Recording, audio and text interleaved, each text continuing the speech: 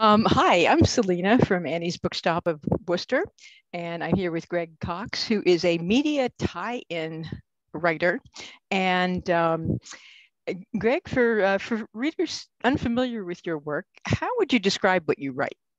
Well, it's good. Like I said, you use my girlfriend actually trained me to stop telling people I wrote media. I was a media tie-in writer because, like Greg, no one knows what that means. Exactly. No, I write uh, novels based on popular movies and TV shows and comic books. Sometimes they are like straight out, just a straight up novelization of a popular movie, the official movie tie-in, or they're an original novel set in the world of, I have some show and tell items here actually. Great. My most recent um, novel is a new Star Trek novel, and I've been writing Star Trek novels now for 25 years. This is a brand new adventure involving Kirk, Spock, and McCoy but just not to show favorites and to support all of my publishers. Um, I've also written, wrote several novels based on the Librarians TV series. And very recently, I, I have also written a number of books based on comic book characters. Most recently, this is my most recent Batman novel, which came out about a year or so ago. So, you know, so I've done Batman, I have done Star Trek, I have done Buffy, Alias, Xena, I, I joke I've done everybody from Alias to Zorro. Okay, you know. Wow. Okay. And um, what can readers expect from your newest book, which is, I, I assume, is the Star Trek book? Yes, this actually came out in November of this year. It is called A Contest of Principles. Um, and it is a classic, uh, as we say, TOS, the original series Star Trek novel set back during the original five year mission. And this is a plot that actually sort of, you know, it's a big plot that involves, actually, I, I separated our characters. It's about three different planets, three different worlds with, there's a Kirk plot, a Spock plot, and a McCoy plot. And of course, they all kind of converge eventually. But so I got to sort of like, sort of three books in one. I actually was impressed by the cover designer who actually did a good job of actually capturing the idea that this is kind of, you know, Kirk's on one planet, McCoy's on another and Spock is on another, and they're all sort of pursuing their own. And there's a larger intergalactic political situation in this star system that they're all involved with. But it's sort of a sort of fun breaking them apart and sort of sending them off each on their three different adventures. Wow. Yeah. Okay. Now, what do you think draws readers to these kinds of books? You know, I I have to think. You know, um, that there's like a Venn diagram and there's an intersection of people who are into this stuff, media stuff, the, the computer games, the movies and TVs, and readers. And therefore, people want to, you know, people who are into Star Trek or Mortal Kombat or Godzilla love the movies or they love the comic book versions, but there's enough overlap with, oh, they're also book people. So it's book people who are also media people. Um, it's funny, ever since, you know, um, the rise of home video and VHS, people have been predicting the demise of tie-ins. It's like, well, why do people need to buy novels anymore when they can just own the movies and watch the shows? But oddly enough, like I said, I've been hearing this since you know VCRs, and yet the books are still selling. They hit bestseller lists. So clearly, there is an itch that needs to be scratched to where if you're a Star Trek fan and you enjoy the movies, you sometimes just want to settle down and read a prose novel about them. Or even if you're a Batman fan, that you know you may enjoy the comic books or you may enjoy the video games or the cartoons or the latest movie. But if you're a book fan, you see, ooh, a novel about Batman. I want to sit down and read that on the train, you know, or whatever. Mm-hmm. I think I think people just can't get enough of it. You know, right. they, they love the characters and they just want more and more and more. And also, if, if you're only getting 20 episodes of the new Star Trek series a season, well, you know, here's, here's another binge. And of course, in the case of, say, honestly, in the case of, say, um, TOS novels, which have been now around for 50 plus years, and obviously, to a certain degree, we're the only game in town because clearly, you know, that show was canceled by NBC back in 1969. And, you know, um, if you want to read classic five-year mission books featuring William Shatner, Leonard Nimoy, and DeForest Kelley, you know, sadly, you know, you have the 79 original episodes, and it may well be that you know the 79 original episodes by heart, like me. and you still may still rewatch your box sets over and over again or watch them every Saturday night on MeTV, but you know, you, you want new stuff about, you know, um, plus we get to feel in, plus as tie-in writers, we get to like sometimes fill in the gaps and do the stuff that the movie shows didn't have time to do or to flesh out. There, there are stories, you're always looking for stories you could do book form that might work better in book form than, you know, uh, you know, on screen or whatever. Mm-hmm. Um, so what was the inspiration for your latest book? And Honestly, what were the and, and what were the steps you took to bring it from initial inspiration to the finished book? Well, in terms of just the steps, we'll backtrack a little bit. The, the, most tie-in novels, and this is whether you're talking The mm-hmm. Librarians or Batman or Star Trek or Farscape or whoever, generally it's the same pattern. You because you, you're not writing these independently. Um, you, you've been hired as a freelancer, like a hired contractor to write a book for a publisher who has a license. I, I stress this always that I don't get up in the morning and decide, you know what? I love Wynonna Earp. I'm going to write a Wynonna Earp novel and somehow get it published. That, that's not how it works. How it begins almost always is with somebody calling me and saying, hey, Greg, we just got the license to do Wynonna Earp novels. What's your schedule like? You know, and you do, it's a very collaborative process because you've got to have everything approved by the licensor and the publisher. So typically, as with this book, it starts with, um, unfortunately at this point, I've been doing Star Trek novels for like 25 years. So I'm in the enviable position of being one of the usual suspects. So it begins with, hi, Greg, we need a TOS novel for next year. What you got? You know, mm-hmm. I sit down, I write like a 12, 15 page outline. I send it to my editor who then sends it on to CBS. Typically there's a bit of back and forth. Oh, we like this, we don't like this, don't do this. Oh, we're doing this next week on the show, don't do this. And we come up with a outline, and then I sit down and write the book. I don't start writing the book until the outline has been approved by both the folks at the good folks at Pocket Books and the good folks at CBS.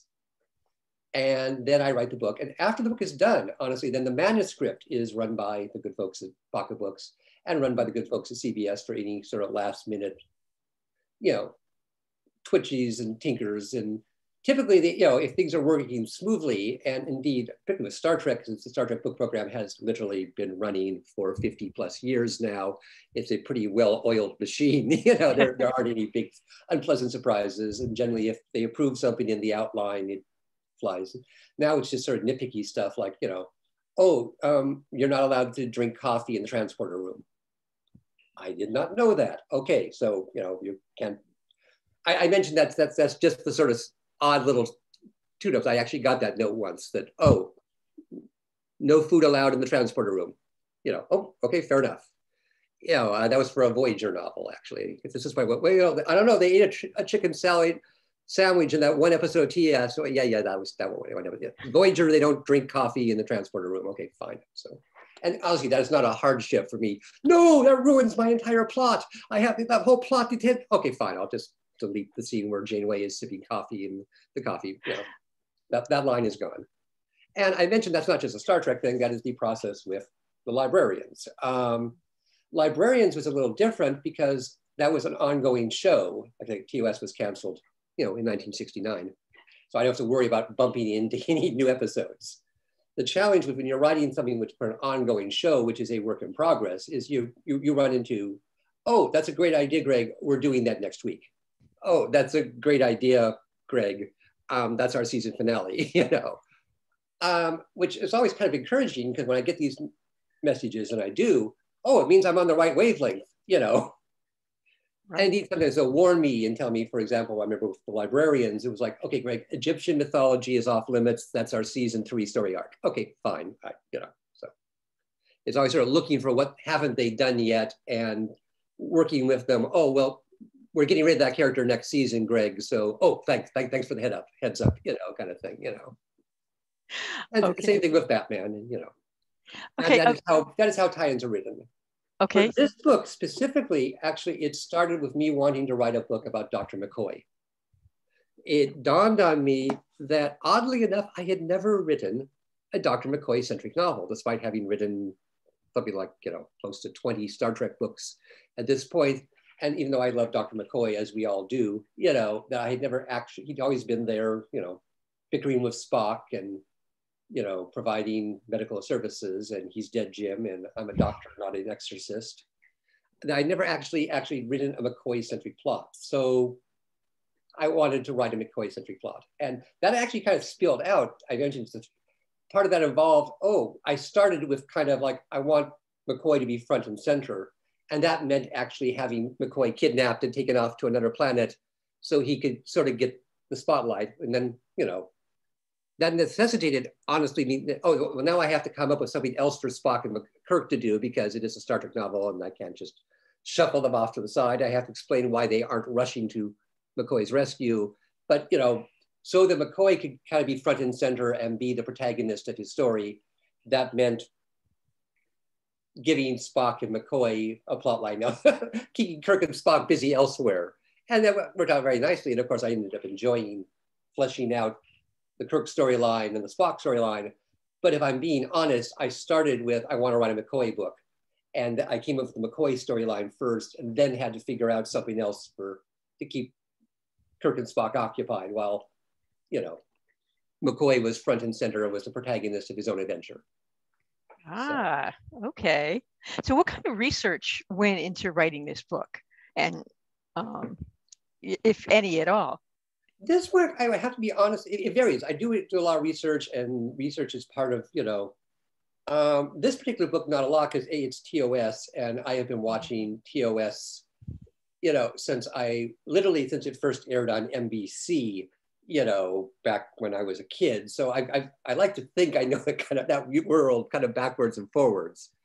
And of course, you know, this book involved a lot of brainstorming, and we can talk about that later, and coming up with stuff, but it wasn't like I need to, re- it's imaginary worlds I'm inventing. By contrast, uh, the, the librarian's books always took a lot of research, simply because, I don't know if you're familiar with the show, but it's about a team of kick-ass librarians saving the world their whole shtick is they save the world because they are librarians and they know lots of obscure information and know lots of weird stuff about history and architecture and science, which meant in order to write these books, damn it, I had to figure out plots that involved them knowing lots of obscure information about ancient history, etc.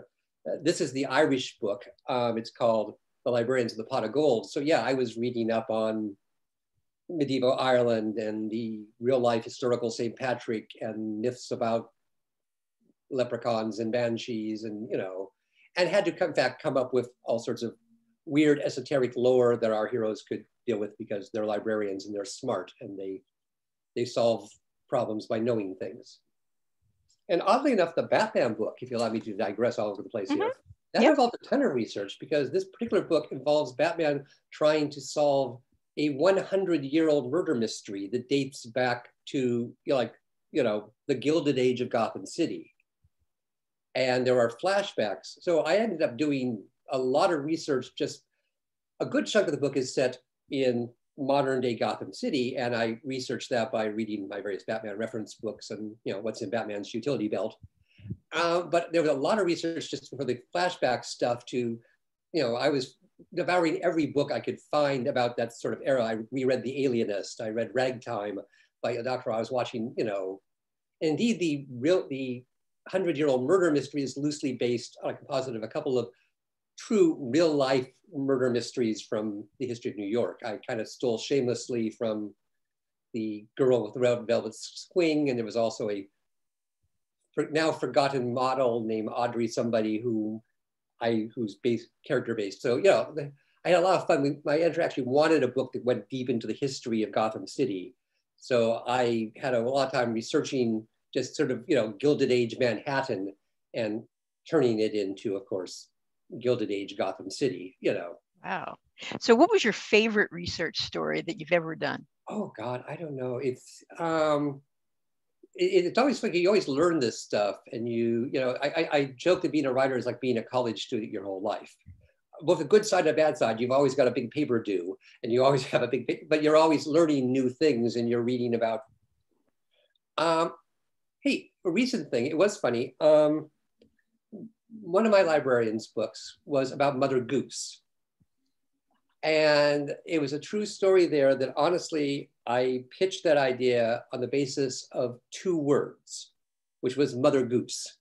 I was talking to librarians people and I had I actually had an idea for another book and they shot that one down as well they should because oh great we're doing that next season. And I kind of went to my backup plan and I kind of like um um um Mother Goose what about if I do something about Mother Goose? Oh we like that great go Mother Goose and I remember wandering downstairs to my girlfriend and saying I think I just re- agreed to write a 300 page fantasy novel about Mother Goose you know what the hell am I going to do? And what I did was, in fact, go immediately to the library, and I ended up learning way more about Mother Goose than I ever. And I dragged down the annotated Mother Goose, and I found books on the history of Mother Goose and the real historical Mother Goose from I think Boston or something. Oh, there was an historical Mother Goose, and I found out that the and in fact, this is where you get ideas. I discovered that, in fact, the very first edition of Mother Goose no longer exists. It's a lost book.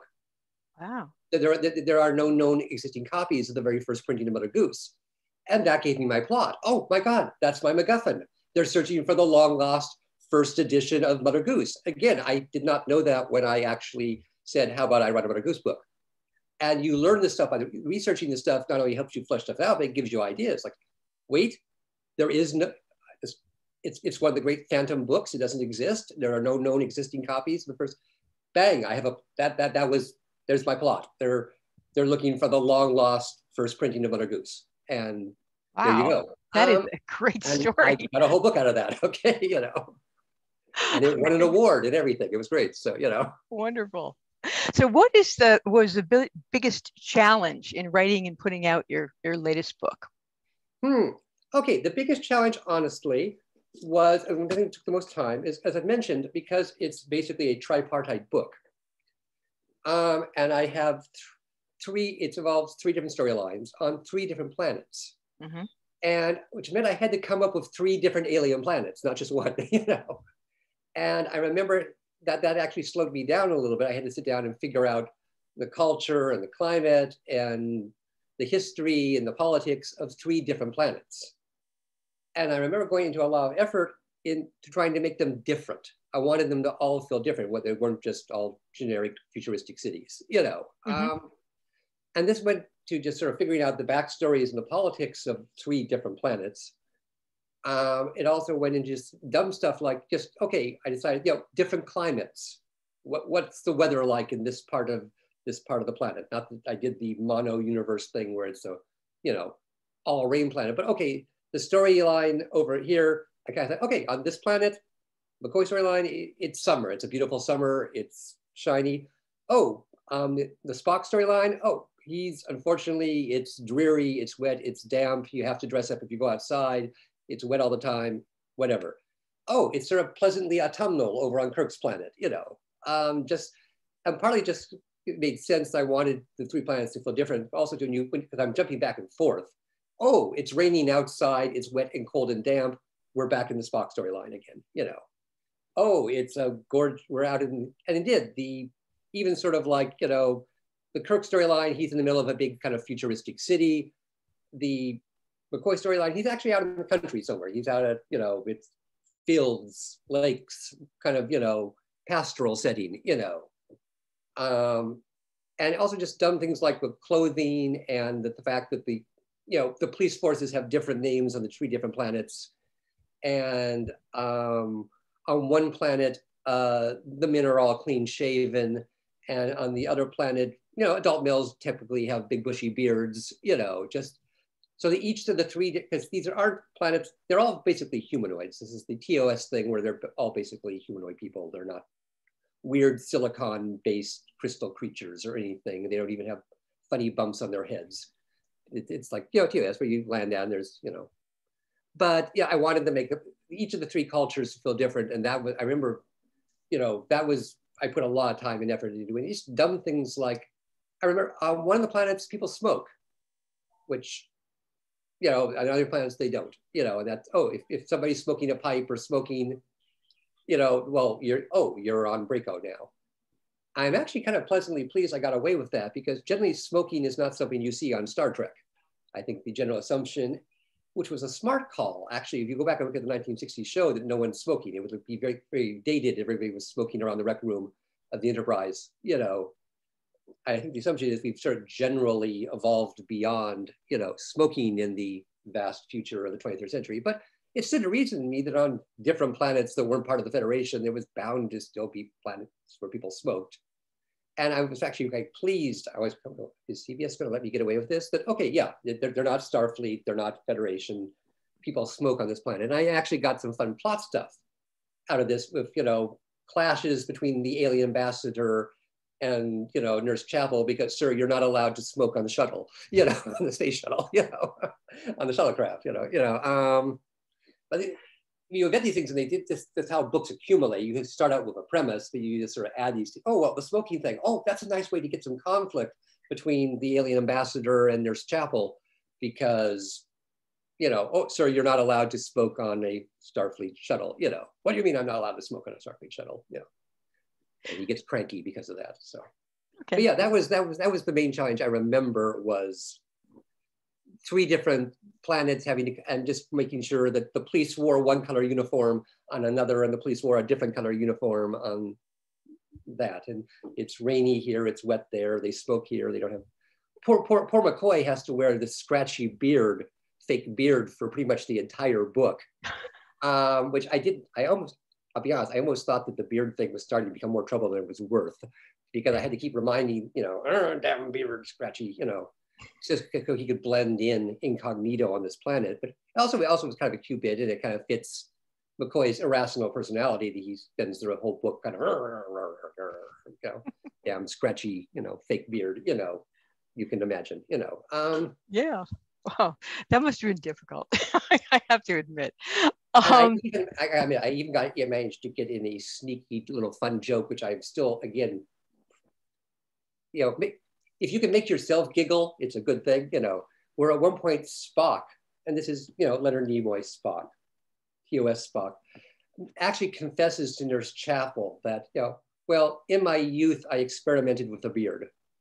It was not universally well received which is a little, just to pat myself on the back, a little bit of a meta joke because, of course, the the new Spock on Discovery who had a beard and that was controversial with fans. So, you know, but still, literally, he did have a beard as a youth, and that's a reference to, you know, nice little tip of the hat to Discovery. It's also a little meta about it was not universally well received, you know. so, what um, character did you love or hate the most when you were writing, and why? Well, no surprise, like I said, uh, we're repeating myself, but this book was meant to be my McCoy book. This yeah. was this, this I, I, described this book as my love letter to Dr. McCoy. Yeah. Because indeed, even when Dr. McCoy's not on screen, they're looking for Dr. McCoy. If I wanted to be puckish, I could have titled this book Star Trek: The Search for Bones. You know, um, because you know, McCoy, without giving out too much away, goes missing, and Spock is looking for Dr. McCoy. And Kirk is frustrated because he can't go looking for Dr. McCoy. And there's lots of, if only Bones was here, what would Bones say here? So it, his presence is all over the book. This is my love letter to. However, one of the things that surprised me about this book was also Nurse Chapel, Christine Chapel, who I have to admit, I realized that I had never actually done much with before. Um, she'd been in the previous books, but usually she's there in sick bay handy McCoy a, you know, scanner or a, you know, laser sight. This book was the first book I'd really done much with Christine Chapel because it's a McCoy plot. And if there's a search for McCoy, well, of course, Nurse Chapel is going to be involved in it, you know, and she's mm-hmm. going to be, and of course, she's also kind of needed because, oh my God, you need to perform first aid on the away team. Well, McCoy ain't there, you know, you know.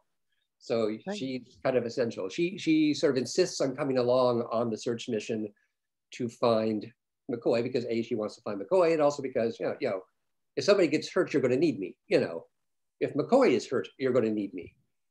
And I was actually pleasantly surprised. I didn't realize that when I started first started talking about this book online before it even came out, people were getting excited. Wait, wait, you're, you're doing something with Chapel. Oh, the Chapel's got a big part in this book, and people were actually excited about that, which may even honestly kind of encourage me to keep beefing up her part so yeah, I actually I had a lot of fun. Actually, I, he's not a character I had ever done much with, but I actually had one of the challenges for me personally, as I mentioned, not to belabor the fact that I'm old, but I've been doing this for a long time. So I'm always looking for what haven't I done personally, not just for the reader. You know, oh, I haven't done a McCoy plot. Oh, I've never really used Nurse Chapel perhaps as much as I should have. What haven't I done myself? You know. Mm-hmm.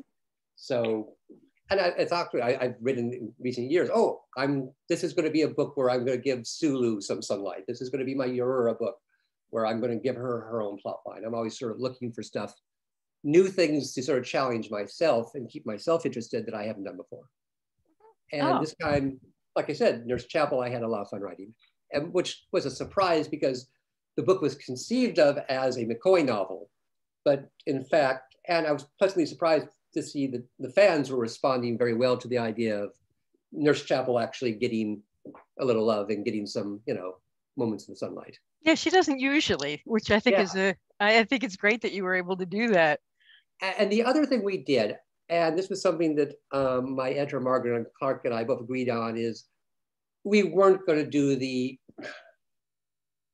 unrequited pining for Spock thing, um, which unfortunately is by how she's pretty much defined on the show. Mm-hmm. Yes. We kind of, you know, that's been done and no, that, that, so we, we kind of mutually agreed, Margaret and I, I enter Margaret Clark, we're on the same page. We're not doing that. She's going to be running around, she's venturing. She actually ends up paired up with Spock for most of the book. They're out looking for, but no, we we actually sort of assume this book takes place near the end of the fifth of the five-year mission and she's over it. You know, the, the hopeless pining crush for, in fact, I kind of deliberately kind of drove a stake through that almost in one of the very first chapters where I kind of mention that, yeah, she she's over that, that we're, we're not going there. In case your eyebrows raise, oh, wait a minute, you know, Spock and Christine Chapel are going on a mission again. No, no, she, she she she's over that. That ship has sailed. She's she's there, there's more to Nurse Chapel than simply pining over Spock, and we're not going there. And like I said, I kind of, as they say, lampposted that very early on. I think in like chapter three. That no, that, that that's what it was about. I'm glad she came into her own finally. yeah, that, that, that, that, that was something that, like I said, I remember Margaret felt very strongly about, and I was absolutely on the same page. That no, no, no, we're, we're, yeah. great. We're going to use Nurse Chapel. She's going to, she's going to, we're going to, she's not going to be defined as the one who's hopelessly pining over over Spock. Okay. Okay. So, what else can we expect from you in the near future? Well, let's see. I'm actually working on a novel on spec that doesn't have a publisher yet, so I'm reluctant to talk about it too much. I do have a couple of short stories that just came out in like the last couple of months. Which, okay, great. Uh, one is a book called Thrilling Adventure Yarns, and it is a collection of sort of old-fashioned pulp stories, ah. featuring indeed a lot of the usual suspects, folks you've probably interviewed, you know, Dave Mack, Bob Greenberger, etc. I had fun. I actually wrote a old-fashioned sword and sorcery story, which, to be honest, was even fun. Was actually a rewrite of a story I wrote in high school back when I was, you know, 15 years old. So I describe the story as a collaboration between 15 year old Greg and 60 year old Greg. It's the same plot. Although, yeah, I discovered when I went back and looked at the original story that I like to think I've gotten better since I was 15. Okay, you know, it, it took, it, it, it, it was, I pretty thorough rewrite, but it was a fun project when Bob Greenberger approached me. Hey, Greg, you want to write an old fashioned pulp story? Like, you know, I wrote a sword and sorcery story what, what actually had happened, honestly, my, my parents moved out of their house into a retirement center. We cleared out their house and I found a stack of my old fan, fish, fan fiction from high school. And I found this, you know, I've got that old, you know, story I wrote in my spiral notebook, cursive, you know, back in 1975. Wouldn't it be fun to go back and revisit that story? And that's what I wrote here. Also, there's a new book just came out. It's called Turning the Tide. And this is a charity anthology. It's a fundraiser to raise money for the World Literacy Fund. It was done by the International Association of Media Tie-in Writers. And yes, there is an International Association of Media Tie-in Writers, and you've probably met many of them. Yeah. And the idea here was we would all write stories based on public domain characters.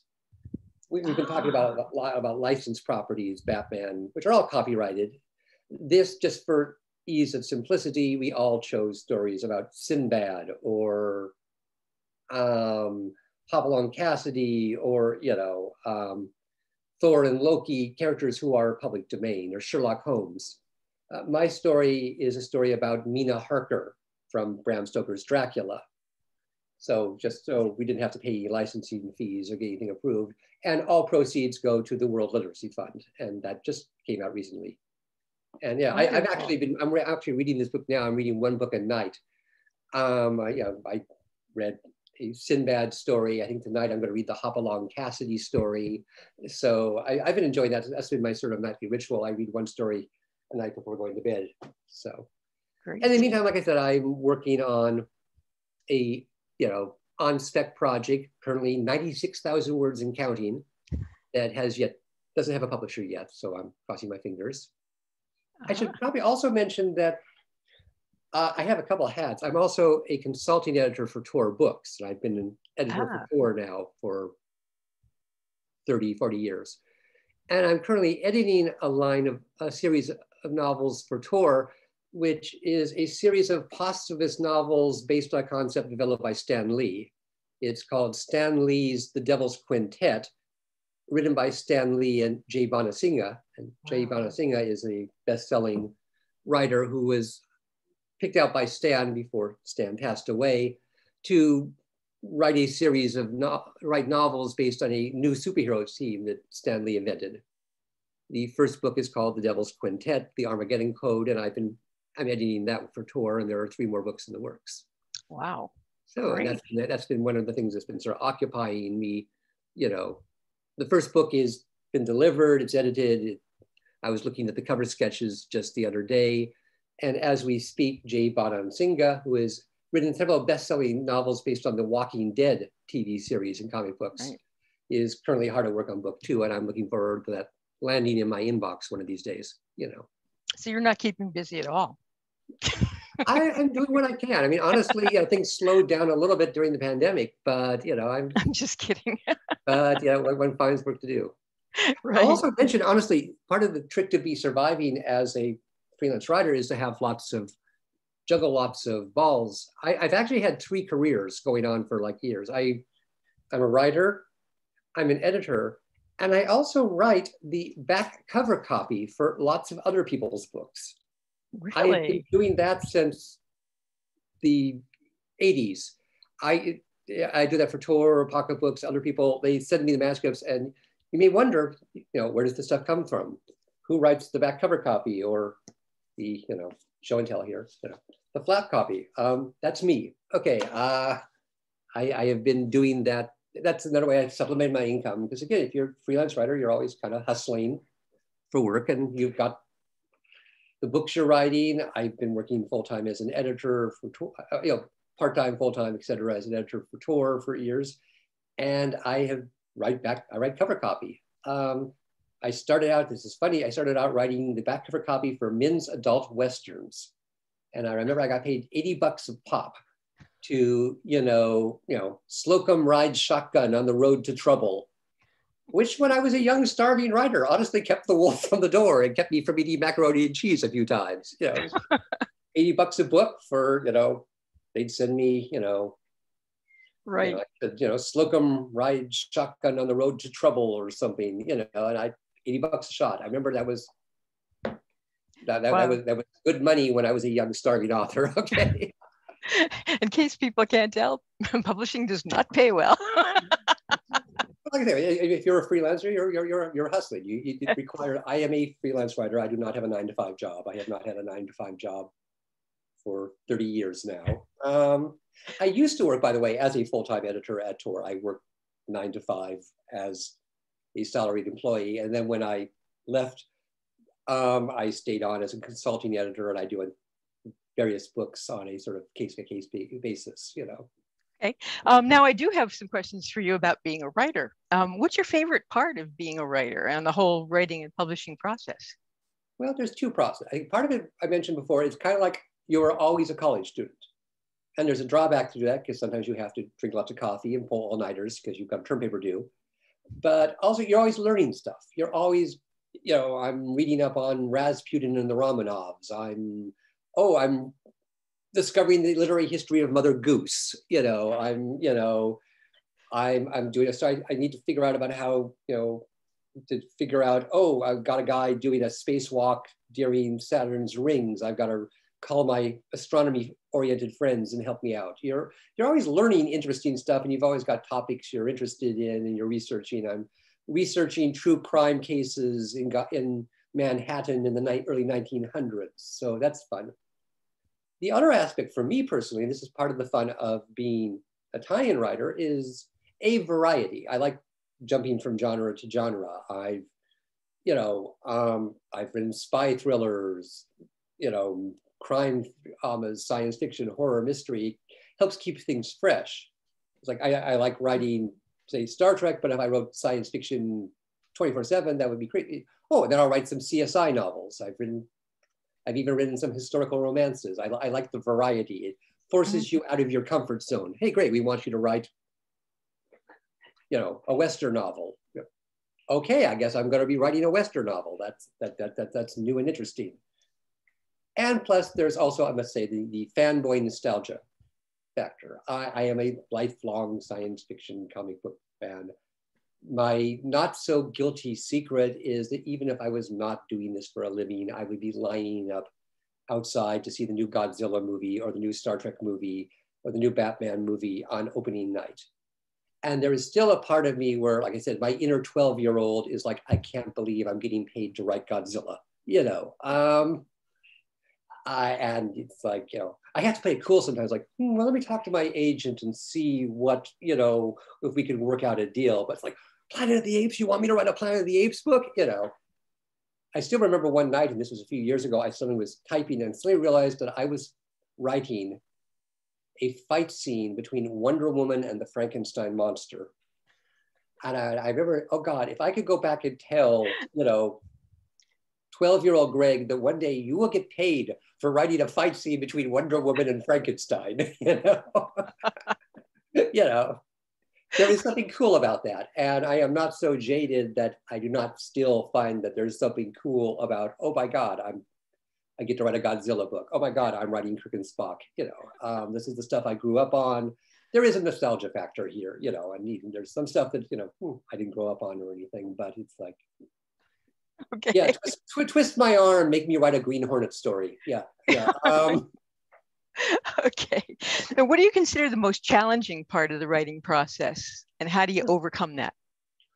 Um, honestly, that kind of goes back to what we were saying, trying to juggle the different hats. Okay.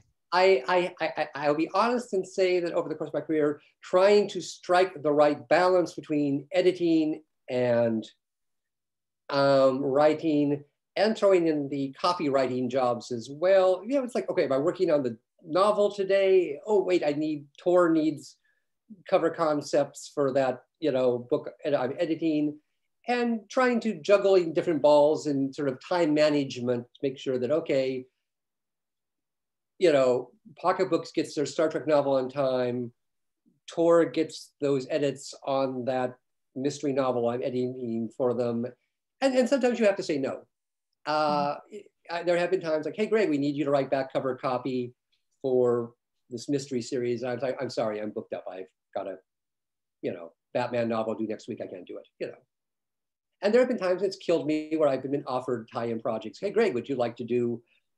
Oh, I would love that, but honestly, I've got, I know my limitations. I've got tight deadlines, 300 books due. I do not have, you know, time to do that. I've had to say no to some fun projects. So to be, fair, to be fair, sometimes my editors are very accommodating. I'm like, hi, you know, can you push these this book especially if you're working in a in the same project, it's like, oh, um, can you push this book around so I can do that book, you know? And it, it, it helps if, like I said, it's all in-house. If, oh, hi, you know, you guys want me to do that vampire movie novelization, but you also want me to do that um, 4400 tie-in. Can we adjust the schedules a little bit to make this work? And sometimes it's doable and sometimes it isn't. And sometimes you have to let that movie novelization go because, you know, you're booked up. Okay. The um, movie novelizations in particular are always on a tight schedule. Those things, you know, the movie novelizations have to come out in time for the movie or there is no point. So there's not a lot of flexibility there. Right. Sometimes other things, it's like, well, you know, you know, this can this there's no reason, particular reason why this novel can't come out in July instead of April, but oh, the, the movie, the tie-in to the big feature blockbuster film has to come out, you know. So so what's your been your favorite adventure during your writing career? Um a couple of, hard to say, but a couple of, part of it is the whole social community thing, I would actually say that part of the fun of being, in fact, a science fiction writer in particular is going to the conventions and meeting people and meeting authors and you know having the whole community thing. And I have, in fact, been going a little stir crazy because the last year pandemic, you know, I have not been out and around. And, and in fact, it, it was killing me, I'll be honest. It was killing me that this book came out in November. And I was not out besides just commercially doing the rounds and doing book signings at my local community bookstores and going to conventions and plugging it. But yes, also, you, you, know, you want to show off, honestly. You want to go out and talk to people and meet the fans. And you can do some of that, thank God. Thank God for Zoom. I've been doing a lot of podcasts like this. But, you know, I am looking forward to getting back on the road again. And I, this is the longest drought I have had in not going out and going to science fiction conventions in 40 years. I I don't go to them as many as I used to when I was younger, but I usually go to a couple of them, you know, every year. And usually when a book comes out, you're doing a book signing at your local, you know, bookstores. Like, you know, if I lived in Massachusetts, I would be at your bookstore doing a book signing, you know. Um, so I miss that, and that's fun. I will also say the movie novelizations, which we have not talked to about. That's when they literally they send you the script for the movie right. and you turn the movie into a book. I, I, am sufficiently starstruck enough that that's again still kind of fun, especially when you get to fly out to Hollywood and see the sets and you know and it's cool. And you know, get, on rare occasions, I've been invited to the red carpet premiere of the movie. Hey, you know, it's cool to, you know, oh boy, I when I did the uh, first Underworld movie, they were very nice and invited me to the red carpet premiere at Grauman's Chinese Theater, and that's neat, you know. And when I did Man of Steel, they flew me out to Burbank and they took me into what they called the Fortress of Solitude, which is the room where they kept all the props. And I got to see all the props and the costumes. And wow. I confess, when no one was looking, I touched Superman's cape. You know, uh, you know that, that, that's always kind of the, ooh, that's neat and cool. Besides just, oh, this is a nice deal, and it's a hopefully get royalties and it keeps me gainfully employed. Oh, it's cool. I get to work on the new Batman movie. I get to be peripherally involved with the new Planet of the Apes movie, and that's still, like I said, I'm enough of a fanboy that's cool and exciting to go out there, and you know. Mm-hmm. And sometimes you even get to occasionally meet the actors or something. It's neat. It's fun. And again, I'm enough of a fanboy that's cool, you know. Fact, I tell you one funny story. One time I was working on one of the Underworld books. I don't know if you remember, Underworld was the vampire versus werewolf franchise. Mm. There were several movies. And I wrote four books for that series. But I remember at one point, and this is not the way it usually works. Uh, there's a character named Raze who is a werewolf. And he did not have a backstory in the movie. And when I was writing one of the novels, I gave him his whole backstory just to flesh out the book because you're trying to flesh out a 100 page script into a 300 page book, you, you flesh it out. And I got a call back from someone at Sony who said, so Greg, this, this whole backstory you gave Raze, you, you just made that up, right? And I'm going, yeah, I just, I felt he just sort of shows up. He doesn't have a backstory. I needed to flesh out the character. Oh, I see. Hmm. Well, have you talked to the actor and asked him, asked him what he thinks his character's backstory is? And I'm like, I can do that? And they say, oh, sure, here's his phone number. Why don't you call him up? This is not how it usually works. This has never, ever happened. This is why I mentioned it. I'm still kind of blown away. I was like, you gave me his phone number. Okay. So I called him up, and the guy's name is Kevin Grevioux, who I should mention is also one of the creators of Underworld. Besides playing the werewolf, he actually is one of the creators of the franchise. So he's, you know, and hi, um, this is Greg Cox. I don't know if you remember, we met briefly at the premiere for the first movie a few. Well, anyway, you know, so and so it, you know, said I could maybe call you and pick your brains about your character. Oh, sure. Sure enough, of course, being a writer himself, and of course being an actor, he had, of course, invented a whole biography for his character, which he told me about over the phone. And I'm like, cool. I went back to manuscript. I tossed out what I wrote and I wrote straight from the werewolf's mouth, you know, as it were, you know, his story. And that, like I said, I, you mentioned adventures. I, I, it, that's unusual. That's not how it usually works, you know. I, I joke, I should have been, hmm, I'm really stuck on the Kate Beckinsale's character. Can you give me her phone number? of course. I don't think that would have flowed. You know, I don't think it would have gone. like said, that's, that's, a funny little peculiar story and adventure because, like I said, that never happens. And I remember being kind of like, of, well, have you asked Kevin what he thinks about his character's backstory? Oh, I can do that. Sure, here's his phone number. Give him a call.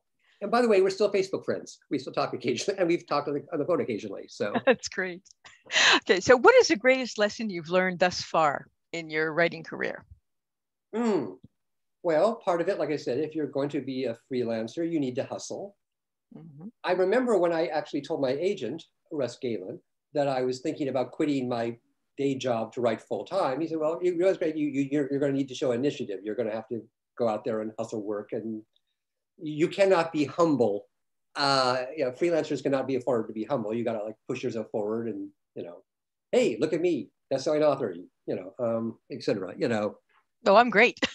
yeah, go around and you know, etc. So, um, and again, also it helps to have several um, balls running. I don't, you know, I've always been careful not to, you know, put all of my eggs in one basket. I remember back when I was writing Star Trek, and I Star Trek has been very good to me. There was always the fear, well, what if my Star Trek editor gets hit by a truck, or what if, God forbid, Star Trek goes away? You know, so let's write an Iron Man novel. Let's write a Roswell novel, even though at times, honestly, the Iron Man novel and the Roswell novel did not pay as much as the Star Trek novels. But I liked diversifying. Diverse, it's like my it's like my financial advisor says, you want to diversify your accounts. So, mm-hmm. and let's keep my toe in on the editing, partly because I enjoy editing. I find it very satisfying to work with other authors. But also, let's keep my toe in on not burning any bridges, keep my toe in on the editing. And you know what? Let's keep Someone calls me up and says, Greg, you want to write the back cover copy for this new mystery novel? Um, yeah, let's not shut that down. That's a nice little supplement sometimes. And, and if you're between, sometimes you are, there are times when you're sitting around like, you know, waiting for, you know, a proposal to get approved, waiting for an outline to be approved. Oh, if, you know, yeah, just two weeks ago, honestly, an editor at Tora called. She had a murder mystery novel. She wanted me to write the flap copy for it. So that, that honestly, that takes me about two days. One day to read the manuscript, one day to write the copy, and bang, that was, you know, took a weekend off, made a little money, and it, and at the end of the year, I find when I honestly, I'm thinking about this because, hey, it's, we just passed April, I just did my taxes. I'm always sort of pleasantly surprised to see that besides the writing, which is my main gig, oh, well, you know, the editing and the writing the cover copy, that stuff adds up, you know, so it's nice. It's a nice so I, that's one thing, just as if you're going to be a freelancer, it helps mm-hmm. to have diversify. Okay. Um, and so what other piece of advice would you want to give to other authors? Well, on the on the writing aspect, um, I was actually talking about this on Facebook the other day. I have a rule. There is a Terry Carr, who is a late lamented famous science fiction writer. Terry once gave me one of my very best pieces of writing advice, which I was actually talking about the other day, which is when you're trying to figure out who the point of view character is, in any given scene. Look for the character who is under the most stress, emotionally, physically, whatever, both. That is your point of view character. And I call this Terry's rule, and it has served me well now for a zillion years. And I, I stress it because it's obviously because you're writing the scene and you find it's not working. Oh, I'm telling it from the wrong. I'm telling it from the point of view of the wrong character. Who has got the most at stake emotionally? That is if you're if you're writing a scene, you're trying to figure out who, you know, the point of view character is. It, it, it's like I said, it's just one of my basic, you know, sort of, you know, compass point lodestars. I use this like, you know, weekly. You're like, oh, this is who the this, this who is this scene about, and almost invariably is the character who's under who has the most at stake. And so, you know, this, this is Dimitri's scene. This is not Elena's scene. Write this scene from Dimitri's point of view. That is a great. And great I pass it on because, like I said, honestly, it's, it, has been one of my major just go-to box of tools. If I'm stuck on something, you know, oh, is this a Spock scene? Is this a Kirk scene? Is this McCoy scene? Who has the most at stake here? That's who's who's getting beaten up, who gets tossed through a window, or who's, you know, heart is being broken. That's the person who's you right. That's him. The Great. other piece of advice I give, and this is where it comes from me wearing two hats. Listen to your editors. I, am a little schizo on this because I actually, like I said, I go back and forth. But I think I also think it helps me as a writer that I have worked both sides of the desk. I, I feel a little schizo sometimes because it's like authors, temperamental children, you know, editors, you know, Philistines. How dare they mess with my sacred prose? But because I have been on both sides, I can see both people's point of view. And I'm not saying you must always do what your editor tells you to do, but I, you must, you know, oh, your editor may have a point and listen and take it into account. And similarly, when I am an editor, I, you know, remember it's their book. It's not my job to tell them what to do, but my job is to help them make their book as best as possible. And one of the things I have learned being an editor and a writer is to get over the knee-jerk response of, no, it's perfect the way it is, you stupid editor. Um, I will confess, I have it too. We all have it. You, you, you turn in a book to your editor. You want them to say, it's gorgeous, it's lovely, you don't have to do any more work. You know, I have learned from experience that when I get the notes back on them, don't respond right away. Just, this is, I just sit, sleep on it, go take the weekend off, assuming that the deadlines allow, you know, and come back to it fresh and get over the humbug. No, I did that on purpose, you stupid editor, you know, um, or I don't want to change it. It's perfect the way it is. This has actually also become part of my boilerplate when I write a letter to, as an editor, when I'm writing a letter to author, I say, look, don't feel obliged to respond right away. Don't start rewriting this afternoon. Don't write back immediately to tell me that, you know, I got my head on my ass, you know. Um, take it easy, forget about the book, go out to dinner, go mow the lawn, you know, take the weekend off, you know, sleep on this for a couple days and we will revisit this next week. Which honestly, once you get over the hump of, you know, oh, well, maybe you actually have a point there, maybe that doesn't work or whatever, you know. Another piece of advice that was actually given to me by one of my mentors, the late great David Hartwell, and I have been lucky, that I should mention I have had the benefit of coming around, David Hartwell, for people who do not know, was one of the legendary science fiction editors. He is also the guy who launched the science, Star Trek book program at Pocket Books way back in the dawn of time. Um, David was one of my mentors. I learned a lot from him.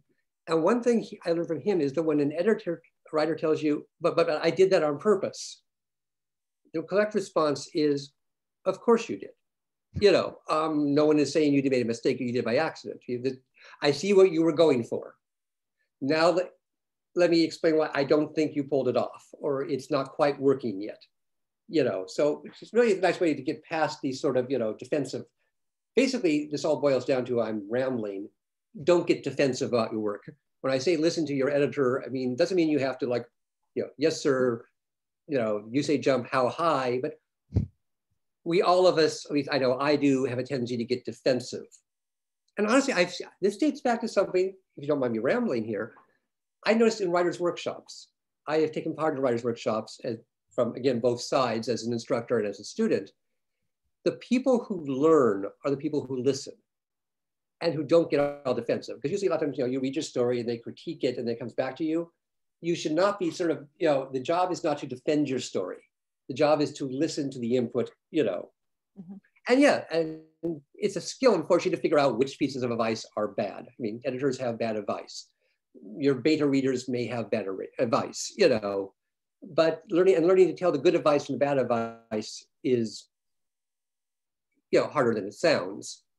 Although if 17 people tell you they don't get your ending, it's maybe the solution is not that, okay, they're all stupid. Maybe you didn't actually pull it off, you know. um, but, you know, to not get defend. If you're sitting there listening to critiques and you're in your head, you're already writing, you know, your opposing statement. This is not a, you know, this is not a courtroom stage where, where they are the district attorney and you are Perry Mason, you know.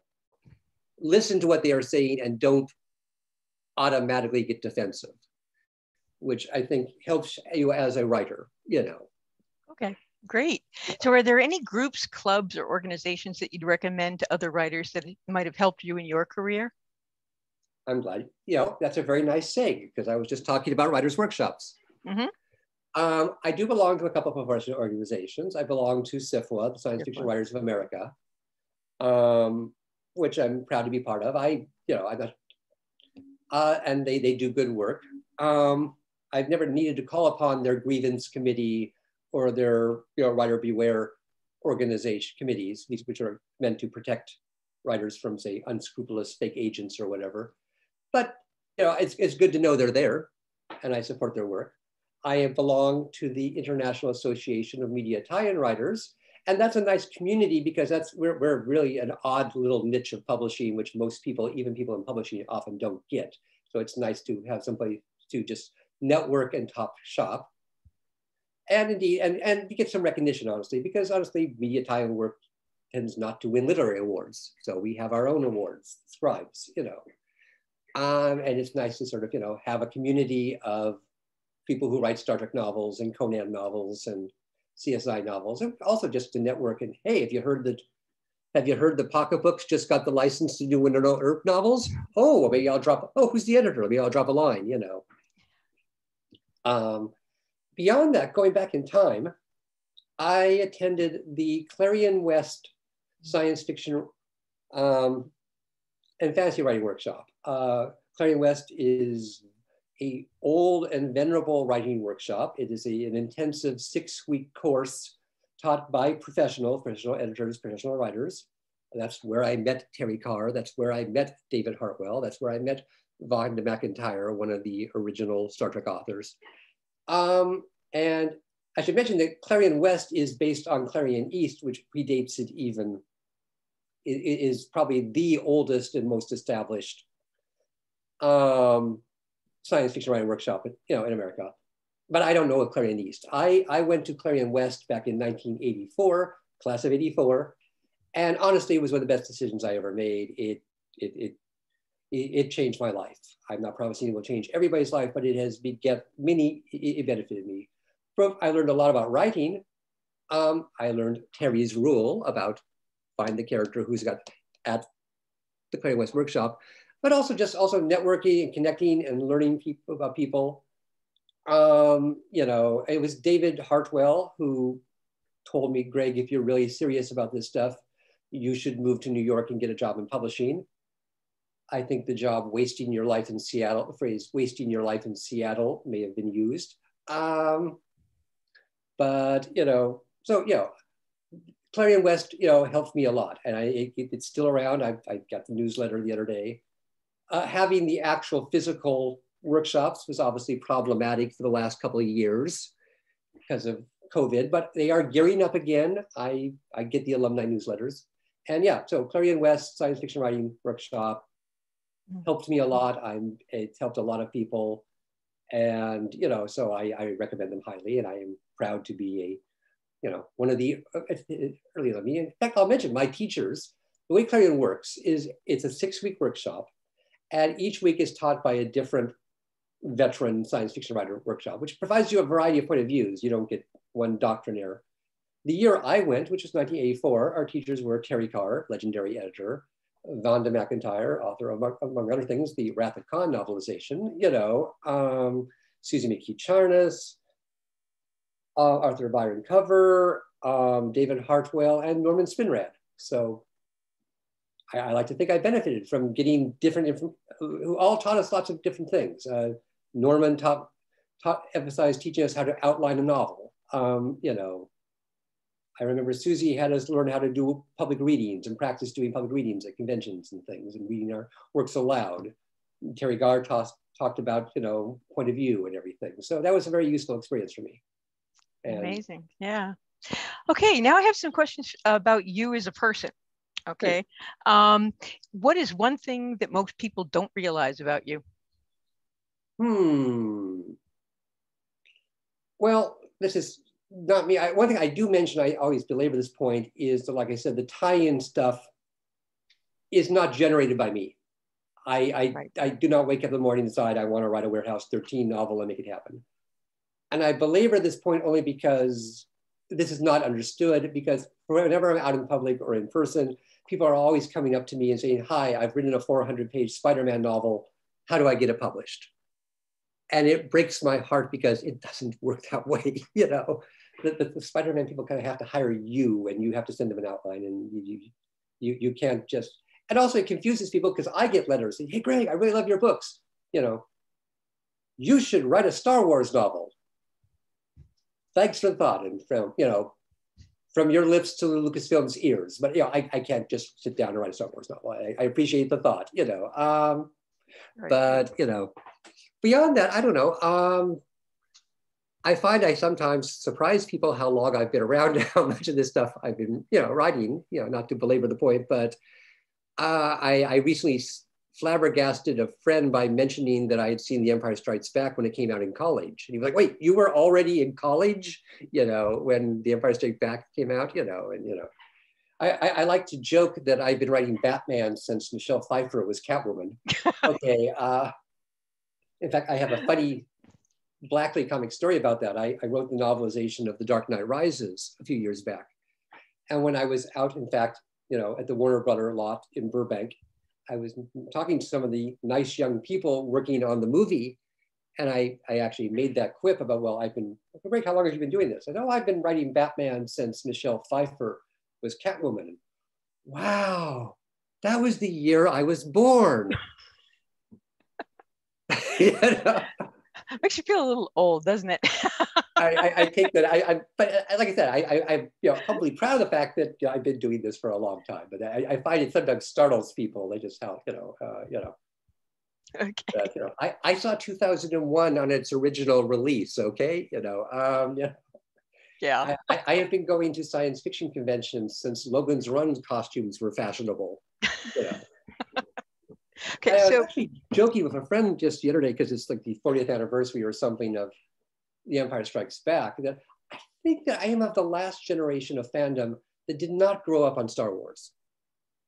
Don't get me wrong, I love Star Wars. I camped out on the sidewalks overnight to see the original trilogy when they opened, but I was not remotely a kid. It is not a beloved part of my childhood. I was, you know, in college, you know, and me and my college friends all piled into a van and we camped. And yes, we camped out on the sidewalk outside the theater to see Return of the Jedi opening night. But I, I, I don't remember playing with my C-3PO dolls as a kid. You know, I think I'm of the last generation that you know I was kind of grown up by the time Star Wars came along. You know, I grew up on Planet of the Apes and Logan's Run and TOS. You know, okay. So what is or are your passions when you're not writing? And how do you make how to make how do you make time for your non-writing hobbies and things that you love?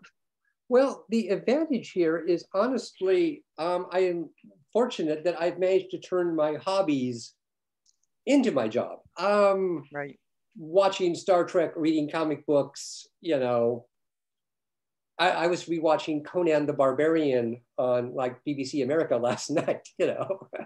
Um, so it gets a little, the line between my hobbies and my job gets very little blurry sometimes. I'm like, oh, hey, I'm gonna go to the comic book store, pick up my weekly supply of comic books on Wednesday, and oh, come home and work on my Batman novel. You know, um, but yeah, beyond that, I you know we I like to go away, go out and travel. I like again, I like conventions. Conventions to me are not conventions are not to me entirely a professional event. I mean, honestly, I'm not even sure if they're cost effective.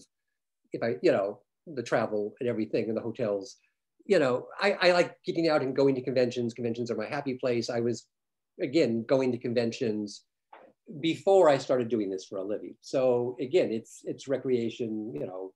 So going to, you know, monster vampire movie film festivals and uh, uh, going to Star Trek conventions is fun and recreation. And it was fun and recreation before I started doing it. And it's still fun and recreation. So it, it's, it's the blurry line here. And even socializing, half my friends I, I've met through science fiction fandom or I've met through, you know, conventions and everything. So Right.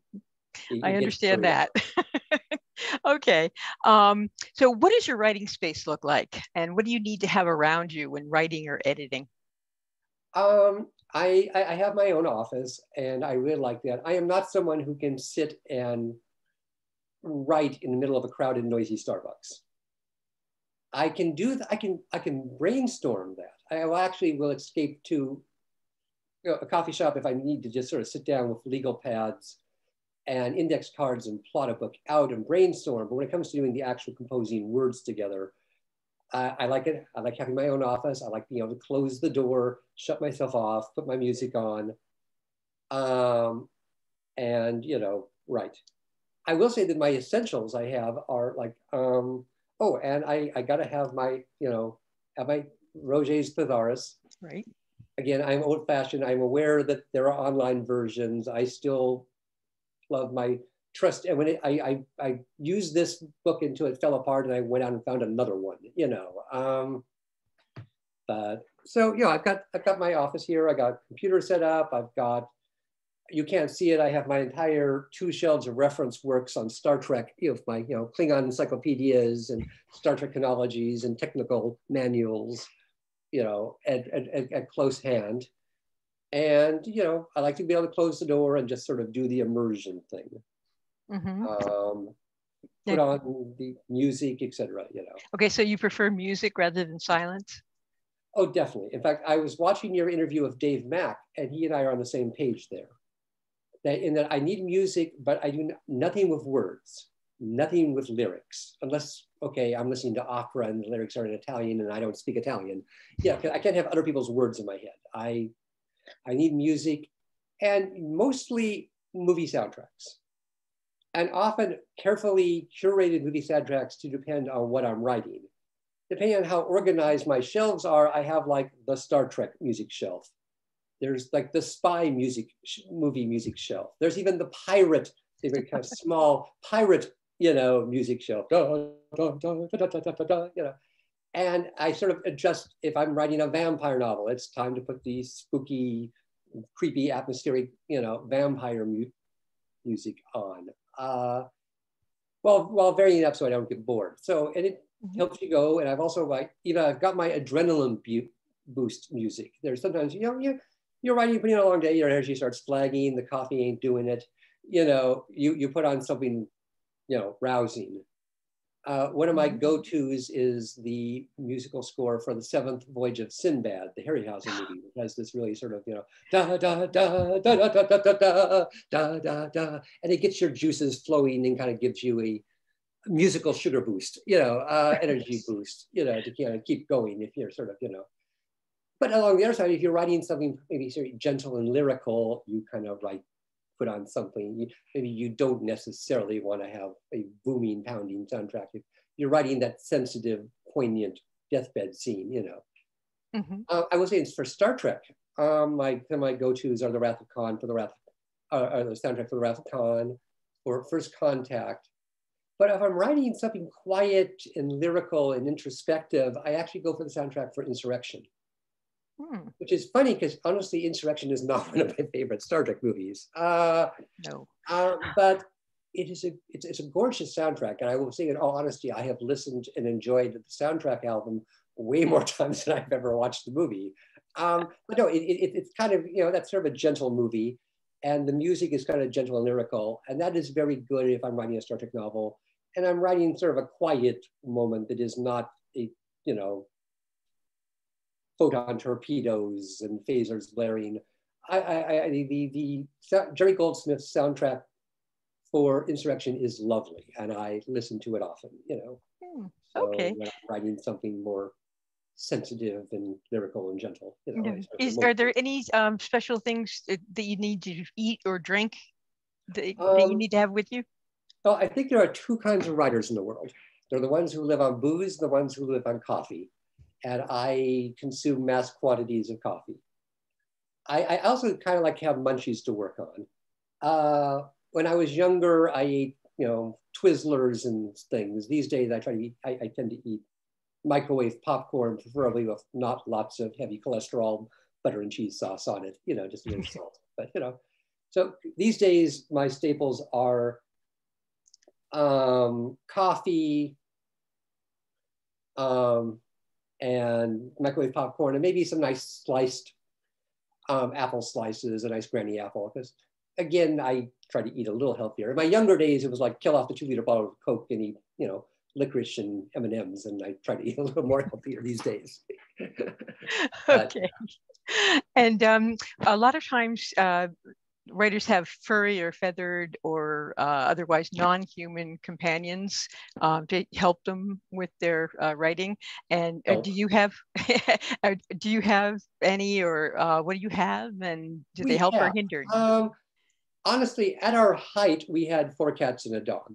Wow. At present time in old age and attrition, we, we are currently, for the first time in a long time, kind of animalless. Uh, um, I suspect there will be another dog or another cat in our future. At the moment, during the pandemic, things have been kind of you know, quiet, you know, so we, we our last surviving cat passed away a few months ago. We are currently, oh, and honestly, at the moment, we're kind of taking the enjoying the break as much as, like I said, we've always had animals in the house. At our height, we had four cats and a dog. At the moment, we're kind of oh, we don't actually have to walk a dog. We don't, we can actually, we're actually looking forward to maybe once the world opens up again, taking some vacations where we don't have to arrange for a dog sitter or a cat sitter or anything. So we're, we're, we're kind of, you know, taking a breather from, from furry companions in a moment, though, like I said, it's, we, we have always had animals, cats and dogs and everything. So yeah, that, that, that is no doubt. In fact, I, you know, like my girlfriend was looking at Pet Finder this morning, so we'll see. But yeah. you, you, catch us at a moment when we are briefly between pets. ah, I see. Okay. Um, I only have two more questions for you. One, uh, where can people find your work besides Annie's with Annie's Book Stop of Worcester? And I'm going to um, put in a plug, which I do at every single video uh, for Annie's, and you can um, you can get Greg's books at uh, Annie's. If you call us at uh, 508 796 5613, and you can uh, you can send us email at orders at anniesbooksworcester.com. And where else could people find your books? Well, in generally, you know, where where where you know um, commercially published uh, books are, are, are found. Um, you know, your usual outlets, Amazon, Barnes and Noble, even independent bookstores some of the more comic booky stuff, uh, the Batman novels, uh, I have an X-Men novel and Avengers, you know, can be found actually at your neighborhood comic book store possibly if they also stock prose novels. And of course, these days, uh, many of them are available in ebook form. Um, I'm old fashioned, I still tend to read Dead Tree books, but I will say the ebooks are great. And uh, one nice thing about ebooks is that they have helped bring the, keep older books in print. I mean, you know, if you go down to your mall, as I did yesterday, for the first time in a year, I went to a mall for the first time in a year. Wow. Because I'm now fully vaxxed. It was Brave. and, you know, I looked and yes, they had my most recent Star Trek novel there. But chances are you're not going to find a Star Trek novel I wrote back in the 1990s, you know, at, at your local mall or even unless uh, you're at a used book store, you know. But it's nice that I that those books have got in our life. I, you, there most of the, most of a lot of my older books are available on ebook. So and it's nice that people are rediscovering them, and i i even get some royalties, you know, um, for books that I wrote back during the Clinton administration, you know. Um, so yeah, they're available by ebooks, and you know, most the newer stuff will be on sale at both, you know, uh, bookstores like yours, at you know your local mall outlet, online, and even like I said, maybe even your neighborhood comic book store. Yep, and we can order them for you, even the older ones too, um, or some of the older ones, maybe not all of them, but. Uh, and and and, and things get can. reprinted and things get back, and I'm I'm always sort of amazed. Hey, give me a second. I'll step away from the screen.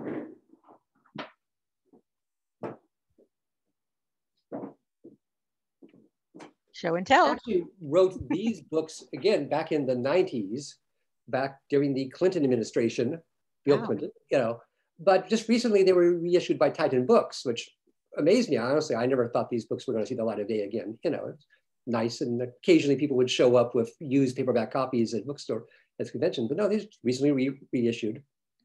A lot of my older Marvel books actually are getting reissued these days uh, as ebooks, as audiobooks, and or new new editions. So it's it's kind of cool seeing be in Lee's life and having. So a lot of your books. When people come up to me, well, how can I get your old Iron Man books? Well, they're kind of hard to find. You got to go on eBay. Oh, well, hey, they're back. You know, so. So a lot of your books are on audiobooks. Yeah. Yeah. Do you have any say in that or or not? Um, I don't have any say as to whether or not they get made um, or how you call, but I, I, do work with them, particularly with the Star Trek books. Uh, my last several Star Trek books have been on audio, and I actually have a very good relationship with the audio people. They reach out to me, and it's now actually become sort of routine and part of the process that at some point I provide them with a pronunciation guide. Ah because you know you got this weird alien. oh how do you pronounce the planet Azalor? So this character Griznak, how is you know Z Z Z T T you know, so actually it's now actually part of again. I have to say the Star Trek thing is a well-oiled machine at this point. Yep. You know, um, you know, no, it's now almost sort of standard that at some point the nice folks at the audio company reach out to me. They ask me for a pronunciation guide. They may have questions. How do we pronounce this alien, weird alien name? I write back to them and we, we coordinate. You know, it is sometimes embarrassing to admit that I had not actually thought about this. That it, well, it just looked weird on the page. And I will say, I'm possibly more conscious now of making them pronounce, pronounceable. In the old days, I would come up with you know, crazy, weird alien names that had lots of asterisks and ampersands in them or something, you know. yeah, and then and then I remember they, the audio people would come to me. Well, how do we pronounce? Oh, I, I hadn't actually thought about that. It just kind of looked cool and alien on the page. So I think I honestly am a, a little more more reluctant these days to just throw random consonants and toss in you know some hyphens and apostrophes into a word and you know realizing that some poor actor is going to have to actually read these words, you know, so. So yeah, that, that, that's actually a process these days. And like I said, I don't, I don't have a say as to what, who the audio rights get sold to or which books become audio, which ones don't. But yeah, it, sometimes the audio people. Well, one quick story. I, I remember once I was actually invited to the taping of one of my audiobooks. And that was funny because it was actually very weird. It actually creeped me out and I, I'm huh. to actually be. I was surprised by my visceral reaction. Was it was weird to hear someone else reading my words, if you know what I mean. And oh, and they're as well they should. And oh, and oh, that, that's not how I heard it in my head. And oh, that that performer is putting a different spin on that dialogue. That's is doing a different line reading. It actually took me, again, it's kind of like I mentioned when you get the editorial notes back from your editor and you have the knee jerk response of, no, it's perfectly the way it is. I was surprised that I was kind of like, I got used to it after about four or five takes. But my first visceral response was, and I was very good. I sat on my hands and didn't say anything because it was very nice of them to courteously invite me to the taping. I wasn't going to be a prima donna here, but I was amazed at how it did, honestly, between you and me, kind of creep me out a bit. Like, this yeah. isn't how I heard it in my head. You know, I can imagine, you know, hearing yeah, somebody else. It was, it was, sort of, you know, doing it. Yeah, it was odd. It was a funny experience. I was, I was intrigued not so much by the performance as by my own sort of weird, visceral reaction to it, which I had not anticipated. You know. Okay, I just have one more question for you. Mm-hmm. How can we follow your work and uh, and share your awesomeness? Well, hopefully, now that the world is opening up again, I will be out hitting the road again and going to conventions and such. I have already agreed, hang on, my mouth is getting a bit dry here. I have in fact already agreed to be a guest at Zenkaikon, which is our local science fiction convention here in Lancaster, Pennsylvania in March. So I will be there in public and I'm sure my convention schedule will open up now again that the world is opening up again.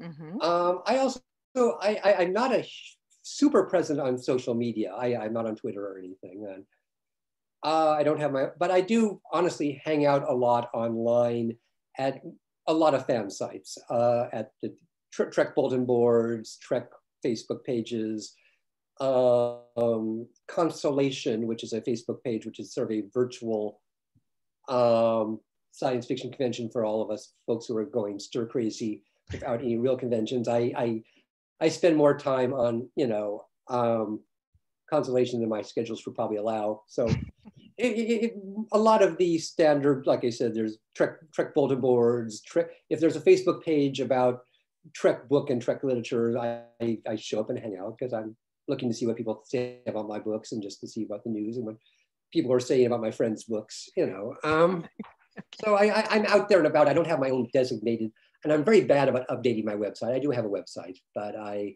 I'm bad about updating it, mostly just upcoming news. I, you know, one of these days I need to join the 21st century and get a Patreon page and get my own YouTube channel and all that modern. Do you have a Facebook page?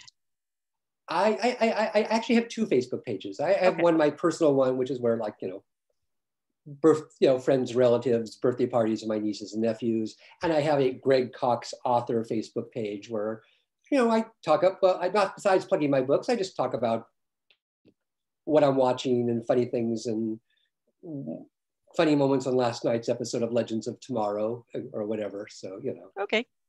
Or I, I chat about fanny stuff because as we discussed, the fine line between my job and my hobbies my fannish activities. And, and yes, last night I was watching the new episode of, you know, um, Legends of Tomorrow. And this morning I was chatting about the new episode of Legends of Tomorrow on various fan message boards, you know, because I'm, like I said, my, I, I, I will be standing in line to see Black Widow when it opens, regardless of whether or not I'm doing the novelization or not which sadly I'm not. But okay, but okay. you know. okay, well, I think that's about all that we have time for. Very good. Thank you so much for uh, for joining me, and uh, hopefully, if you ever get to the Worcester area, around around the Boston area, um, you'll come and visit us at our store.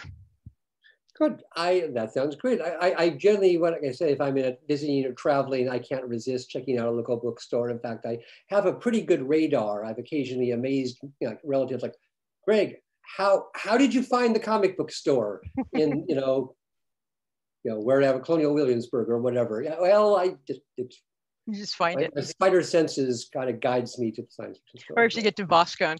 yeah. yeah. I went to, I, I, I, honestly, I've not been there as much as I, I went to a Worldcon in Boston many, many years ago. Noreascon, probably, yeah. all I really remember is the convention center. I, it was one, of, I, I was one of these, I didn't get out and see the city as much as I, I regret that I did not get out and see as much of the city. I mostly was in the convention center running around doing fan stuff. Ah, okay. Well, anyways, hopefully we will see you then. okay. Bye-bye. Thanks again.